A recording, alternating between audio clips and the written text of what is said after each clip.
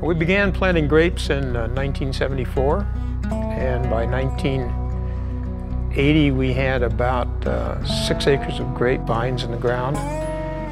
And I decided to see if we could put together a winery. By that point in time, there were three wineries here in Temecula Valley.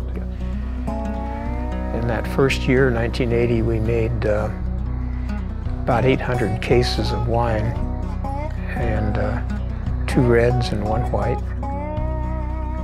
So we're among the early pioneers. Uh, of all those early wineries, we're the only one that is still under its original ownership, still under the family, Hart family ownership. So uh, we have um, uh, since then, of course, um, grown considerably, although we're still a very small winery.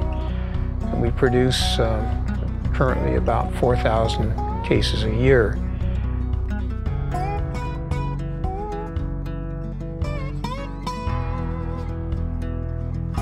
We have a fairly warm climate. We can't make big, giant, over-extracted wines. I think they, they tend to start all tasting the same.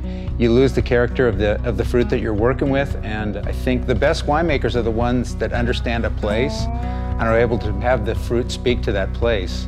Say a Tempranillo, it shouldn't be like a Rioja Tempranillo. It's a Temecula Tempranillo, so the winemaker kind of has to a little bit restrain themselves and stay out of the way and let the place and the fruit and the vineyard speak.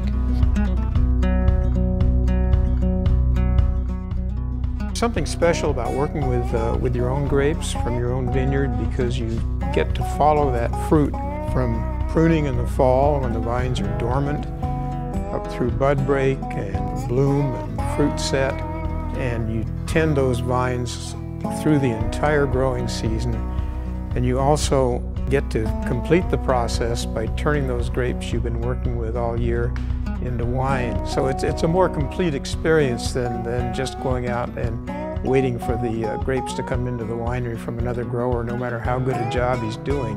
There's something very special about working with your own grapes because you get to follow them all through this entire growing season and then through the winemaking season, all the way from pruning in the fall to bottling and enjoying the wine post-harvest and post-aging. It's a special experience.